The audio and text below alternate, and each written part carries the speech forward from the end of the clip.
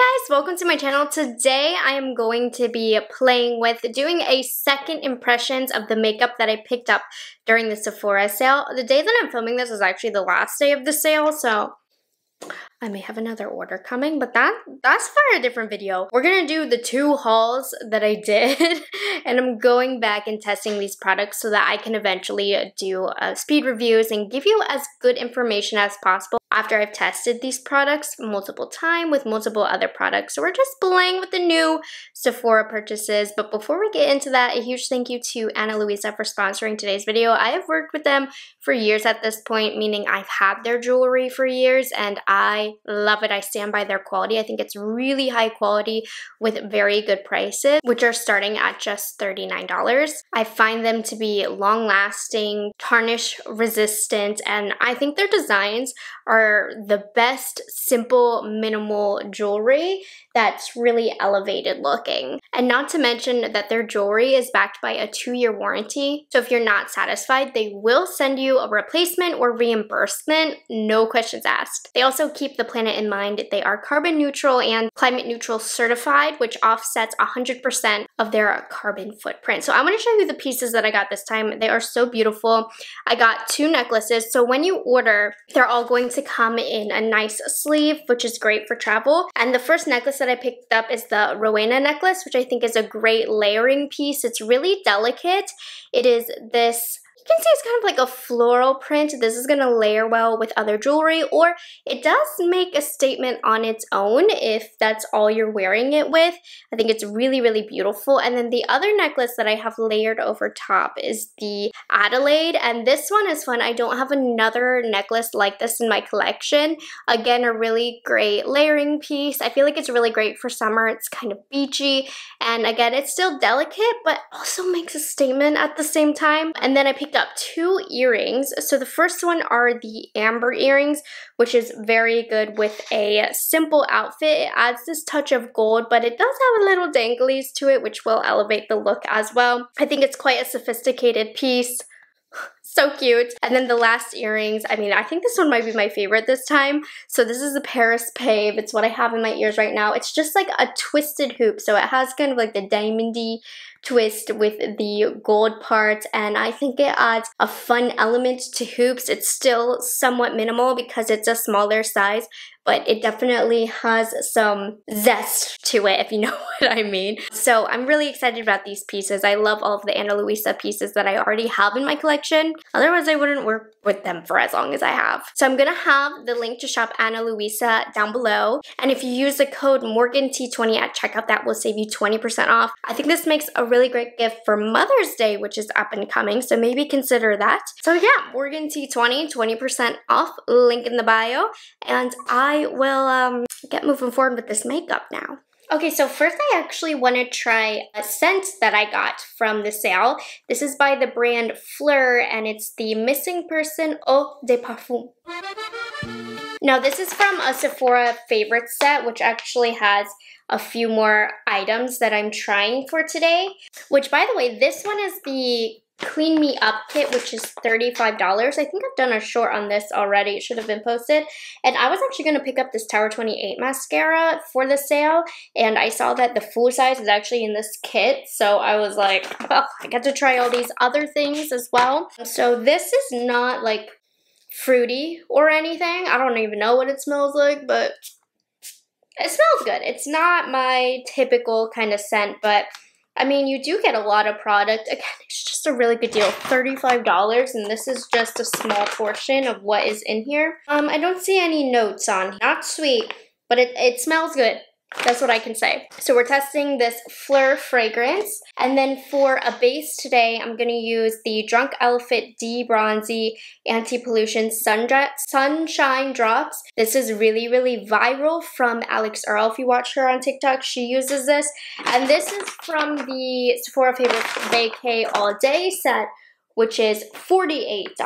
But again, you get full size items like this and the new makeup by Mario in here is full size and then of course you get all of these other things. So these are one of my favorite pickups for the Sephora sale. I know it's not going on anymore, but I think they are worth it without any discount. They did sell out online because they are such a good deal. They flew off the shelves. But they might have it available at your Sephora in store, so still like look online and it will tell you if it's at your local Sephora, you can buy online and then go in store and pick it up. So that's why I'm still mentioning it, even if it's not available to pick up online. But let's try it. This is supposed to give me a tan. Let's see. I don't want to play too much because I'm kind of scared. I'm also not wearing my normal towel around me because I always stain my clothes with makeup, but it's really hot with the towel around me because it's a cold, rainy day in Miami today. But with the towel around me, I'm hot in this sweater dress. So this definitely gives my face more of a tanned look, which is really great if you self-tan, but don't put any on your face. This is going to help kind of give more of a bronzy look. Oh yeah, I definitely look more tanned. It definitely gives a glow. I don't self tan, so I don't know that this is a product that I see myself using too often, but she gave us some color. I didn't pick up a new foundation or any eyebrow product, so I'm going to pop on the Laura Mercier foundation that's new real quick. I like this. I find that this is really long wearing, and I'll be back. As you can see, we're doing a lot on the eyes, and I actually just used a lot of different eyeshadows on my eyes. And normally I don't use multiple palettes, but that's happening today. So you'll see that during the sale, I did pick up this Glossier Monochromes eyeshadow palette, and I got it in the shade Teak. So I'm just going to start off with the brown in here. And I'm to put this in my crease. I kept getting ads for this on TikTok. And so I was like, finally, okay, I'll buy it. And the crease shade here, you can see it's pretty light, but I think it casts a really great shadow for today's look. I just used a little bit of concealer on my eyelid, nothing crazy. And then this is not from Sephora, but I'm using this Ace Beauty Palette Palette Palettopoly because it has a dark green shade that I wanted to incorporate in today's look. It's this one right here in Grungy. And I'm going to kind of pat it on the outer half of my eyelid. And then going to blend it like so. And I will probably go back into that shade, but then I'm going into the Pinker Times Ahead palette from Too Faced. You can get this at Sephora. I bought this from HSN, but I'm just going to use this lime green shimmer shade, which isn't quite as green looking on the eyelid. It's a little lighter than I thought it would be, but it's fine. I'm just going to use it as my inner corner color. And then I'm going back into a little bit of grungy not too much, just to redefine the green. I can't believe I used three different palettes today. I never do that. And we're not even to the finishing piece. See how this dark green though? It's looking a little patchy. I haven't used this Ace Beauty palette very much. I've kept it beside me in my makeup drawers for easy access though because it does have so many different colors. I found the colors in there have come in handy like today for example, but that shade is a little patchy. It looks a little patchy on the under eye as well, which it is what it is. And then I'm going to put on a little bit of Too Faced glitter glue. Not part of my Sephora haul, but it's a necessary step for today's look. So I'm just going to pat that on the eyelid, which brings me to an item that I haven't tried yet that I picked up from Sephora. And I've been dying to try it. This is the Dream Dust Multi-Reflective Eye Glitter by Valentino in the shade Emerald Green. So it's pretty much just an emerald green pressed glitter, and I have been dying to put this on my eyelid. That being said, if you have fake nails, it's kind of hard to dig in here don't really like that. I'm getting this green all in my nail. So I almost have to get it on my finger pad and then wipe off my nail before I put it on the eyelid so I don't get color in unwanted areas. This is like a pressed glitter, but when you get it on your finger, it still has a tack to it, so it will stick to the eyelid even without a glitter glue, but it isn't super sticky. You know, the glitters are individual in this pot and I wish I mean I, I bought it I knew what I got myself into but the glitters I think would be great if they were just a little bit more fine and not so not chunky but they are chunkier glitters so I kind of would have preferred that but this color is just beautiful. So now we have a super glittery eye look. I recommend using a glitter primer with this because it's just gonna help the glitter not have fallout since this isn't like the creamiest glitter formulation. It's almost like a pressed glitter. It is a pressed glitter, so they're, they are gonna fall down throughout the day if you don't have something to secure them. But the color is gorgeous. I don't feel inclined to pick up another color because it's getting all over my nails. It's kind of difficult since the product itself is lower in the pot, so it's not easy to only press your finger pads in. And it's very expensive, but the shade is gorgeous. I had to test it for today's look. So I'm quickly just gonna clean up some of the glitter that I can underneath and I'll be right back. So moving on to concealer, I only picked up two concealers during the sale. One was the Valentino concealer, which I've been using and I love this by the way. So I wanted to use the one that I'm less familiar with. This is the Huda Beauty Glowish Bright Light Sheer Concealer. I got it in the shade Light Medium, which is too dark, but we will correct that later on. I just want to test this a little more, so we're gonna use it. So I know, because I have used this once before, that it's very sheer and it does add a glow. So let me show you. I'm gonna use my beauty blender.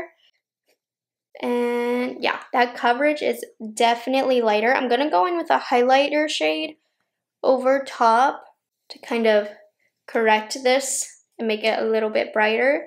But it definitely reflects the light, provides a lighter coverage. I'm just gonna decide today a little bit more of how I feel about it. I love the Valentino. Like I said, I don't know if I like this one nearly as much as the Valentino, but it definitely adds a glow. This could be pretty good for more mature skin if it doesn't move at all. And then, okay, this was a huge purchase that I made. I already tried it in one video. This is the Makeup Forever HD Skin Sculpting Palette, so I'm going to use it a little bit more today, starting off with I want to highlight with it, which is one of the things that you can do with this to brighten the inner corner of my eyes where the concealer is too dark. So something like this is very expensive. This is $85. Uh, so you have to be pretty committed to wanting to use this. So I'm just going to take a little bit of this lighter shade and a little bit of the shade next to it, not much. And I'm gonna mix this on a mixing palette. Then I'm just gonna put a little bit in here so that it'll give additional coverage that the Glowish didn't give. And it's gonna brighten up that area. And then with whatever I have left, I'm going to highlight. So I think this palette is really great. I don't know, you know, if you are not a makeup artist, how often you're going to use this. For me, it's not something that I am grabbing for on an everyday basis. This is something that I really only will grab for when I'm really trying to perfect and sculpt the face. But I would love the quality of this. I love the versatility of this. I think it's a really nice palette. I think it also is $85, which is a lot of money.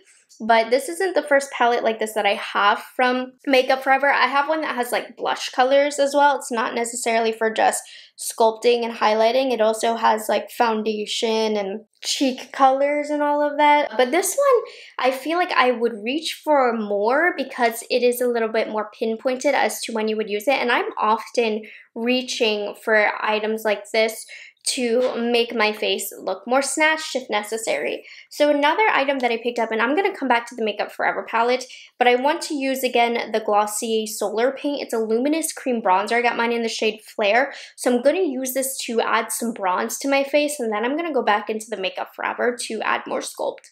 I definitely took advantage of the Sephora sale to pick up Glossier since I had never really tried Glossier before. I did do a big shopping spree at the Glossier store a few weeks back and then everything that I didn't try, I picked up, no, well, not everything, but I picked up a lot of things that I did not try in that original haul I did with Glossier and I really was enjoying their products. So I wanted to get a 20% off discount to try more. And I think that this is nice. I saw a number of comments saying that you did not like this luminous paint, and I think the color range from what I saw in store was just a bit odd, but I like the shade. I think it's very natural. I think it blends out easily. I don't find the finish of it to be too unflattering. It definitely has a luminous finish, but I like it. I think it's nice and it's great for everyday makeup. It's great if you don't have too much of a pigmented base on underneath as well because it does sheer out so easily. So I feel like this did add a nice bronze to my face. I really do not like how that dark green blended out on my eyelids. That makes me sad. and then I guess to get more of like a highlight and uh, a sculpt here, I'm gonna go back into this Makeup Forever palette, which is really versatile today to kind of make up for what my concealer and bronzer were lacking. And you have this shade, which is really great for contour. It's quite gray. So I'm gonna warm it up with a little bit of the darker shade because I don't like too gray. And I don't need to use something like this, but I think it just keeps the palette cleaner. And I'm gonna go in and I really just wanted something a little bit deeper and more cool than what the Glossier gave me. So I'm just gonna simply use my fingers to apply it. It doesn't need to be anything too crazy. Probably could have used a little bit more of the truly gray shade for the nose contour, but no biggie. I'm not really a stickler about that. But I wanted it to be more snatched under here, so that's what that's to give me. I'm to use my beauty sponge, and this blends out pretty easily. I was worried, you know, when you feel it in the container itself, I just felt like there was potential for this not to blend out that easily. But Makeup Forever knows what they're doing, and I think this ended up doing a good job.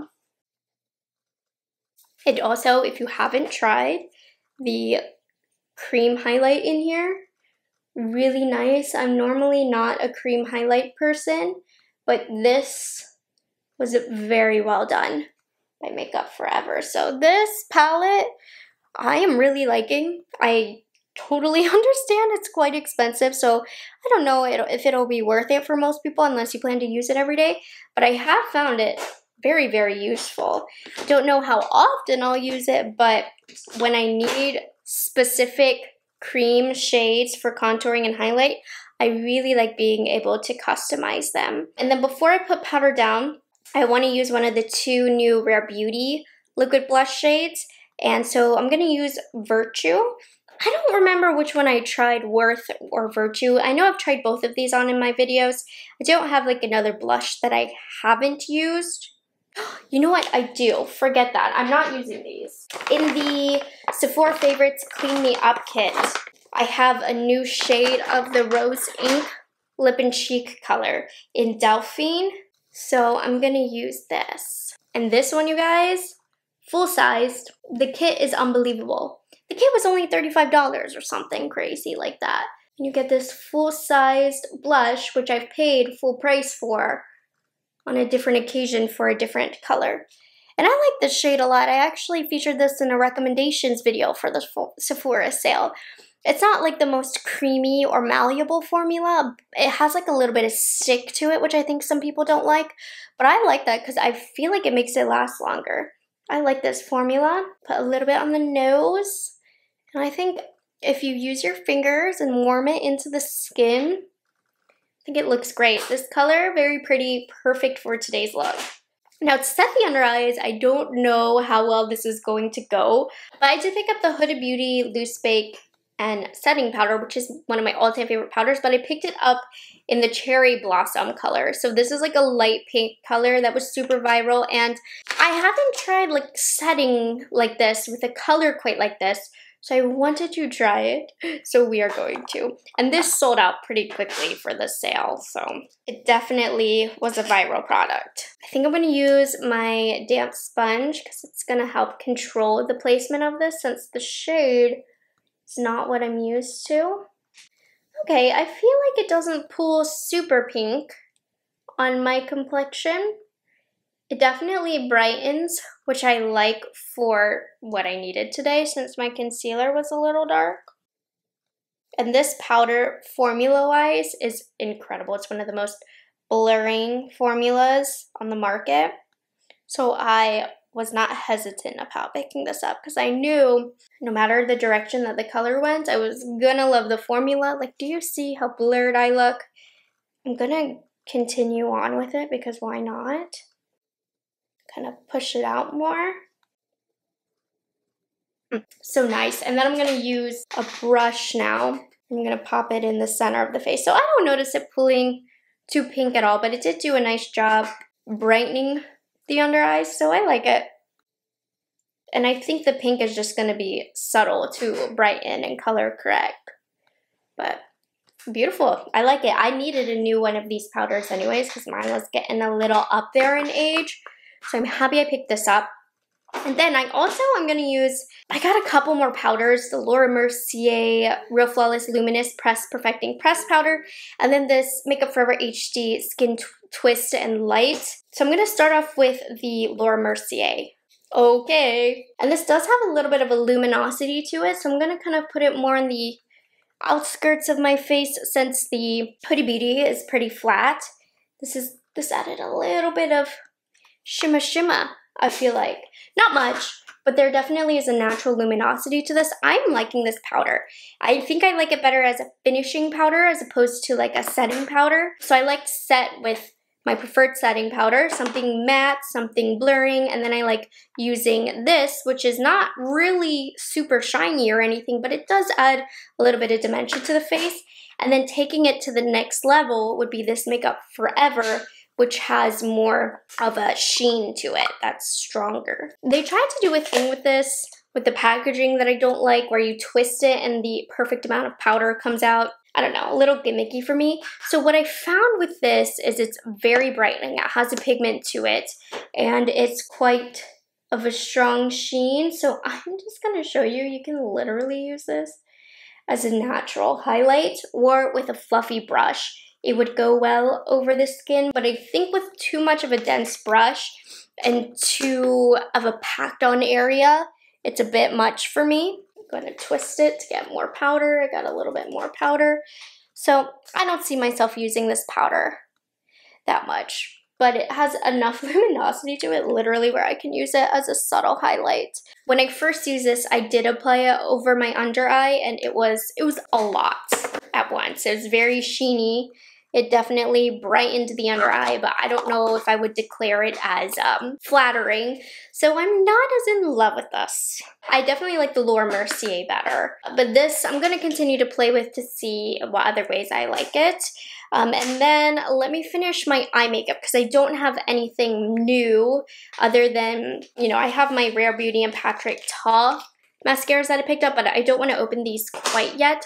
So I'm just gonna finish off, put some brown on the under eye and I'll be back. Coming together now, isn't it? So I'm gonna try a new type of product that I've never tried before. This is from the brand Freck OG. It's the original freckle little fake maker. And this came from one of those Sephora favorites kits. So let's try it. It's so tiny and cute. I love it. So all I'm gonna do is just like boop, boop, boop, boop, boop, boop, boop, boop, boop, boop, boop. And I'm gonna take my finger and then kind of press it in and it creates really natural looking freckles. And don't be afraid to use different pressure because some can be a little splotchy, maybe not that splotchy. I gotta practice with this some more, but I do have some natural freckles underneath that I'm kind of using as a guide. That was not supposed to happen. It's actually quite sheer, so after you press down, it'll spread. Oh, okay. We need to practice using this though. I'm trying to stand up for this, but I'm gonna have to practice with this some more. Let me try it again over here. A little bit more product. I don't know, I've seen other people use this and it looked really good. I clearly need some practice. So if you have any tips, let me know. I feel like it did kind of add some cute frecklage. I just messed up in some parts. Like that was a good run right there. The splotch that I did right here, not cute though. Like this, not good. But the rest looks super duper cute. So we'll continue playing with that. I don't know if I, I don't know what to do about this. Might need to put a little bit of foundation over that. Honestly, really cute. I know this looks like a splotch, but it actually is a real freckle with a little bit of the freckle over top. I do have a splotch that big on my nose. So, I'm actually a pretty freckly person in general. I don't think I can look at that though. Hmm, what is wrong with me? I like it, there's potential, but I think I need to practice. Anyways, let's move on to the lips. So for lips, I'm to use the LYS Beauty Speak Love Smooth Glide Lip Pencil in Lavish. This is the only lip pencil I have, so it's no brainer to use this. So I'm just gonna line my lips. This is nice. I really like this lip pencil. It's easy to apply, but it's not too creamy. And this color is also very nice. And then to finish us off, for the lips, I'm going to use a new product that I've never tried. This is full size. I got it from one of those Sephora Favorites kits. This is the Makeup by Mario Moisture Glow Plumping Lip Serum and Bronze Glow. I'm excited. I've never tried this before. Okay. Oh, I like this. It's like a tinted lip gloss, lip balm hybrid. I've used products like this before. I like this a lot better than his newer lip product, the little guy. You know what I'm talking about. It's like a really pigmented lip gloss. This is more my speed and it definitely has some plumping properties to it.